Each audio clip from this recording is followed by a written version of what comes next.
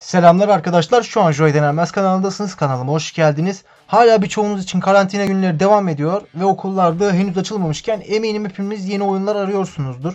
Normalde oyun öneri videolarını büyük indirimlerde yapardım fakat asıl oyun öneri vaktinin şu an olduğunu düşündüğüm için yeni bir oyun videosu, oyun öneri videosu çekmeye karar verdim. Önereceğim oyunlar muhteşem sistemler isteyen ya da çok yüksek ücretli oyunlar olmayacak. İndirimlerde ya da indirimsiz şekilde alabileceğiniz 7 oyunu listeledim. Hadi oyunlara geçelim.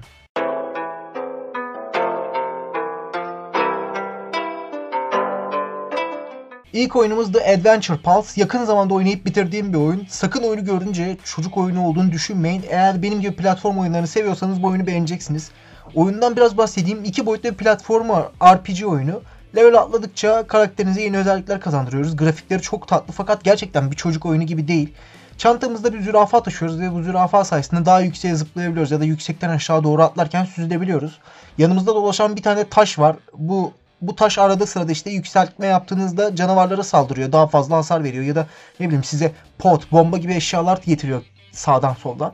Bu karakterleri oyun içinde skinler, şapkalar da bulabiliyorsunuz. Oyunun normal fiyatı 24 lira, indirimde 24,5 liraya ya da 6 liraya düşüyordu. Tam olarak hatırlamıyorum. Şimdiki oyunumuzun ham ücreti evet yüksek. 59 lira fakat videoyu şu an çekerken %95 indirimde ve 2 lira 95 kuruşa kadar düşmüş. 3 liraya artık bir paket cips anca alabiliyoruz ve bu fiyata alınabilecek en kaliteli oyunlardan bir tanesi. Şimdi oyundan bahsedelim. Eğer korku oyunlarına pek ilginiz yoksa bu oyun pek size göre değil. Çünkü oyunu oynarken korkmanız muhtemel. Oyun 2014 yılında çıkmış. Hayatta kalma, korku ve aksiyon türünde bir oyun. Çoğu ödül aday gösterilmiş ve yine bunlardan çoğunu kazanmış. Metacritic puanı 81-82 civarında yani gayet iyi. Yayıncısı da Sega olan oyun 2 lira 95 kuruşa satın alınmayı hak ediyor. İstek listeme nasıl geldiğini hatırlamadığım yani ne zaman eklediğimi bile hatırlayamadığım oyunu denemeye karar verdim. Fiyatı 32 liraydı fakat indirimlerde 20 liraya düşüyordu. Sıkıntıdan satın aldım ve oynamaya koyuldum. Oyunumuz piksel grafiklere sahip açık dünya hayatta kalma oyunu. Sürekli bir şeyler inşa ediyorsunuz. Sürekli crafting edip bir şeyler türetiyorsunuz. Ağaç kesip taş kesiyorsunuz. Taş kırıyorsunuz diyeyim. Arada sırada slime'lar geliyor. Bunları öldürüyorsunuz. Para kazanıp adanızı büyütüyorsunuz. Eşyalarınızı geliştirmeniz ve aç kalmamanız gerekiyor. Aç kaldıkça canınız gidiyor. Bir oturuşta en az 5-6 saat oynamanız muhtemelen çünkü ben öyle yaptım. Grafikleri tatlı gözüküyor. Oyun 32 liraya alınır mı? Para sizin için sorun değilse alınır. Sistem gereksinimleri zaten çok yüksek bir oyun değil. Ama indirimde ise kesinlikle almanızı öneririm. Bu oyun için çok bir şey söylemeye gerek var mı bilemem. 2019 yılının en başarılı indie oyunlarından bir tanesi. Çok fazla ödül kazandı ve Metacritic ortalaması 85. Güzel bir hikayesi var. Hikayesi İngilizcenizi çekmediyse, İngilizceniz yetmediyse bile oyunun oynanış kısmı sizi etkileyebilir. Siz bir ninjasınız ve kurşunlara bile kılıçla vurup geri sekmesini sağlayabiliyorsunuz. Bölüm bölüm ilerliyorsunuz. Öldükçe aynı bölümü tekrar oynuyorsunuz. Ama ben öldüğüm için sıkıldığımı hiç hatırlamıyorum. Yaklaşık 4-5 saatlik bir oyun. Sonu çok ucu açık bitiyor. Yani ikincisi çıkarsa kimse şaşırmaz. Fiyatı 25 lira ve indirimlerde 12-13 liraya düştüğünü gördük. 4-5 saat biraz kısa gelebilir fakat tekrar tekrar bitirilebilecek bir oyun. Ben ilk kere bitirdim şahsen. Karantina ilk başladığı zamanlar ücretsiz olarak dağıtılmıştı. Ben de o zamanlar kütüphaneme ekledim. Eğer o dönemde kütüphanenize eklediyseniz ve hala oynamadıysanız bu oyunu kesinlikle deneyin. Ha geç kaldıysanız bile oyunun ücreti 25 lira ve indirimde 12 liraya düşüyor. Şimdi gelelim oyunumuza. Oyunumuz yine bir bağımsız yapım. Macera açık dünya bir oyun. Biraz crafting, biraz farm yapıyorsunuz. Balık tutabiliyorsunuz. Bir şeyler ekip yetişmesini sağlıyorsunuz. Sürekli görevleriniz oluyor. Oyunda sıkılmanız çok zor. Ağaç kesiyorsunuz. Ağaçlar bittikçe tekrar ağaç dikip birkaç dakika içinde yetişmesini bekliyorsunuz.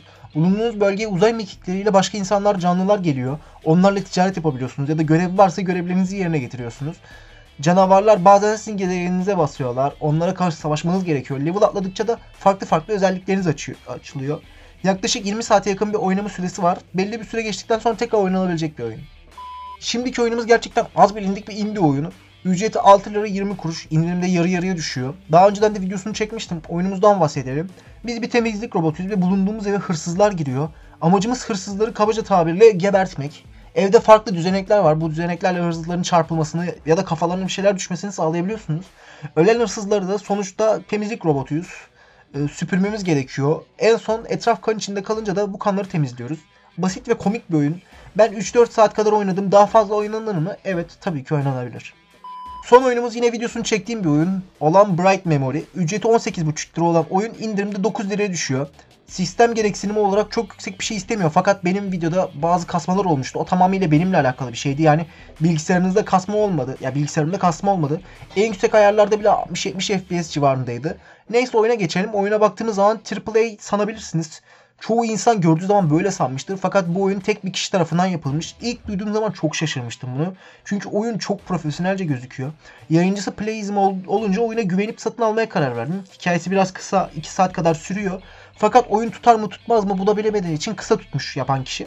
Ve şu an devamını yapıyormuş. Bright Memory oyununa sahip olanlar da devam oyununu ücretsiz olarak alacaklarmış.